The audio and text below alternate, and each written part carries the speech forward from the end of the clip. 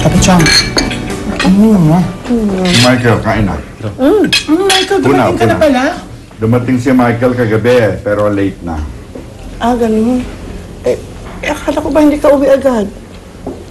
Akala ko matakatagalan ka pa sa Palawan. Um, natapos na rin kasi yung main operations namin sa Palawan. Yung iba ko namang kasamahan, nakikipag-meeting na lang. So, di na ako kailangan doon. Thank you. Ay, balita ko, sinundan ka daw ni Sofia. Nakita pa naman kayo. Um, aholo.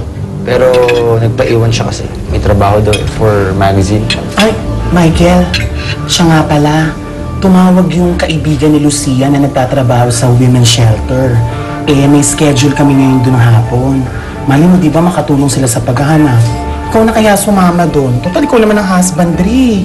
Samahan mo nila si Lucia, mali mo, di ba? Mahanap nila si Eliza. Witness ka bang pwedeng testify para sa'yo? Witness? Wala makapagsasabing, let's say, na nasa ibang lugar ka nung mangyari ang krimen na yun. Para may alibay ka. Bilisan natin to, Elisa. Maraming pagsusunod sa'yo. Totoong kasama ko si Carlo nung gabi niyon. Pero hindi ako pumatay sa kanya, hindi ako nagtulak sa akin sa bangin. Someone has to vouch for your innocence na wala kang kasalanan. Kahit sinong taong nakausap mo before or after that incident happened. Nung sinugod ako sa ospital pagkatapos ng aksidente, may isang nurse doon. Jane ang pangalan niya. Naikwento ko rin sa kanya ang lahat. Alam niya na ang, ang lahat ng mga nangyari sa akin. At sila rin ang gumamot na sugat ko. Okay, that's good. Maganda yan. Pakisulat which hospital at ang mga pangalan ng mga tao niya. Pupuntahan ko kagad ang hospital na yon at kakausapin ko ang Jane at ang doktor na sinasabi ko. I'm not gonna get a private lawyer for my sister. Isang pipitsuging public attorney lang ang hawak sa kaso niya. Talagang gusto mong ipitin si Eliza Olivares? Eh anong pinagsasabi mo sa akin kahapon nung sumugod ka sa presinto? Come on. That was just for show. Wala naman talaga akong intensyon na tulungan yung babaeng yun. Well, that's my end of the bargain. And as for you, gusto ko sana natuloy-tuloy ang kaso. You keep the case going, the trial going, at hindi-hindi na siya makakalabas ng kulungan. You know what? Let's keep in touch. This is my car. Mukhang disente kang tao, edukada, at may sinasabi sa buhay. Pero, bakit gusto mo makulong yung kapatid mo? Hindi ba malaking kasiraan yan sa pamilya mo? Mrs. Arellano, hindi mo na kailangan malaman ng rason ko kung bakit. Let's just say, nakatulad mo, may nawala rin sa akin dahil kay Elisa. So, can we shake on that? Bilang magkaalyansa at bilang bagong magkaibigan. Have a great day, Mrs. Arellano. You too.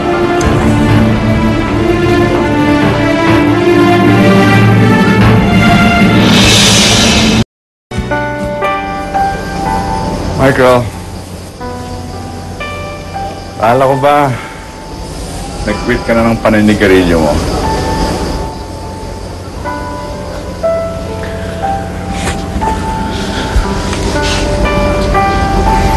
Are you alright?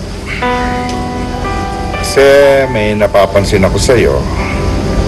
Kaiba ka, buhat nung nanggaling ka sa Palawan. Pagod lang siguro ako, Lo.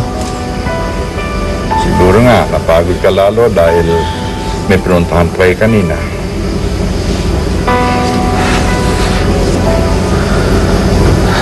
Pagod na ako maghanap, Lo. Pero alam ko, hindi ko dapat tigilan yung paghahanap kay Elisa. Dahil marami akong mga tanong na dapat niya sagutin.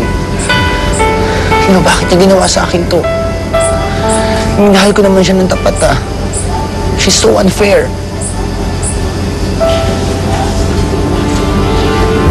Ah, wala na po kasi yung attending physician na Elisa. Nag-migrate na po yun sa Amerika eh. Kung ganun, ikaw na lang ang maaasahan niya. Ikaw na lang ang makakatulong sa kanya. Ay, bakit po ba? Ano po bang nangyari kay Elisa? Nakadetain siya ngayon sa isang presinto. Primary suspect siya sa isang murder case. Murder? Si Elisa? Awang-awa naman ako sa apo ko. Iyak na iyak. Sa pagkawala na ni Eliza. Alam niyo, Don Ramon, nahihiya po talaga ako sa inyo. I wish may explanation, pero maski ako, hindi ko maintindihan kung bakit iniwan ni Elisa si Michael. This is not the daughter that I know. Hindi ganito si Elisa eh. Kahit maski ako, hindi ko maipaliwanag kung ano nangyari sa anak ko. Alam mo, Hiner, ayokong husgahan ang anak mo. Pero sa mga pangyayari,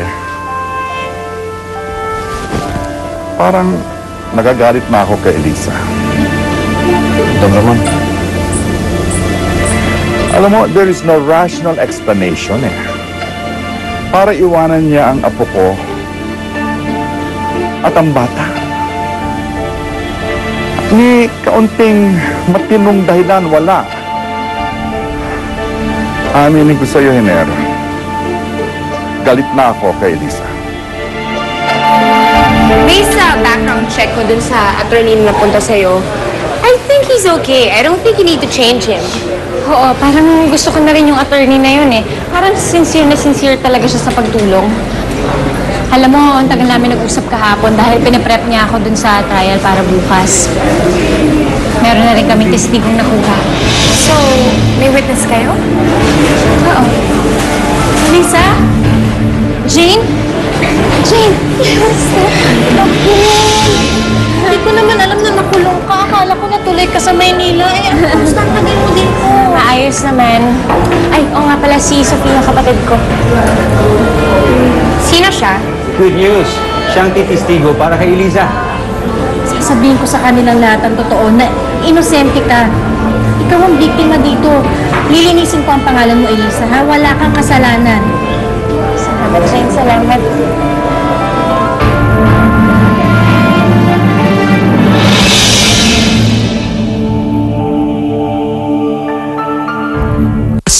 Natin sa pagtupad ng mga pangarap. Laging maaasahan sa oras ng kagipitan si Vicky Morales, ang fairy godmother ng bayan. Aaksyonan ang ating mga kahilingan tuwing Sabado. Sa Wish Ko Lang, ngayong Nobyembre. Mangyayari na ba ang wala pang nakakagawa sa mundo ng boxing? He's got the power!